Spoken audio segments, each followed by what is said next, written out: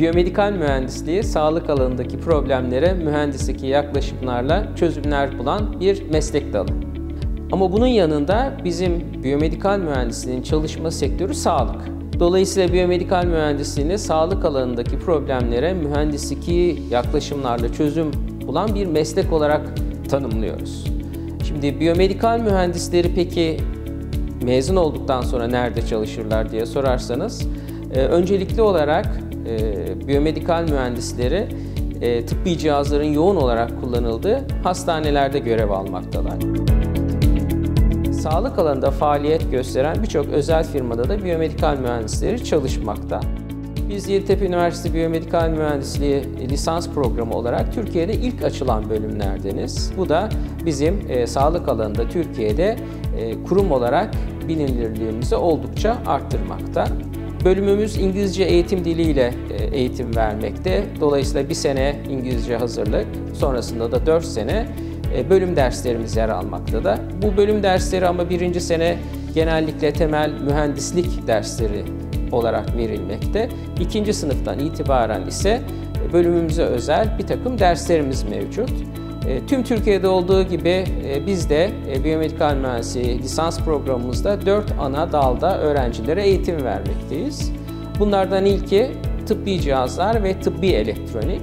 İkinci alanımız ise tıbbi görüntüleme. Üçüncü bölümümüz ise biyomalzemeler. Dördüncü ve son alanımız ise biyomekanik.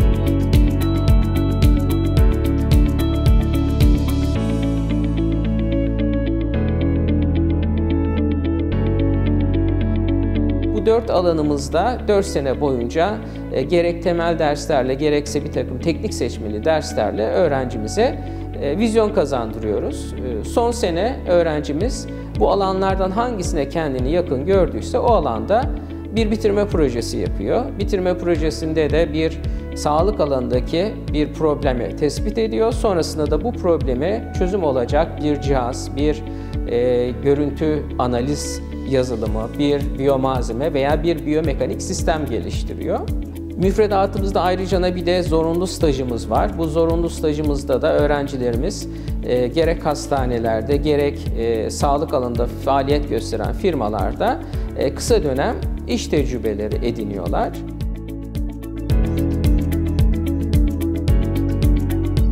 Yan dal ve çift ana dal imkanlarımız söz konusu. Mesela elektronik mühendisliği okuyan bir takım öğrenciler e, bizimle biyomedikal mühendisliği çift ana dal yapmaktalar veya bizde okuyan öğrenciler elektronik mühendisliği çift ana dal yapmakta. Bunun dışında e, biyomedikal mühendisliğinde okuyup biyomühendislik bölümüyle e, çift ana dal programı yürüten öğrencilerimiz de bulunmakta. Türkiye'de birçok bölümde olduğu gibi bizim de Erasmus imkanlarımız söz konusu.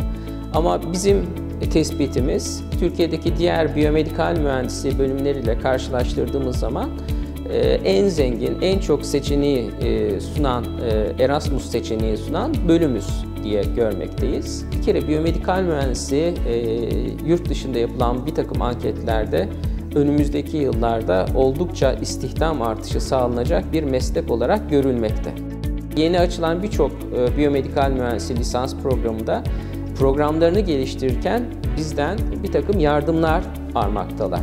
Bu bakımdan biz e, bölümümüzü e, bu alanda Türkiye'de öncü bir bölüm olarak görmekteyiz. Uzun yıllardan beri biz mezun vermekteyiz ve bu mezunlarımız piyasada çok rahat bir şekilde iş bulmaktalar.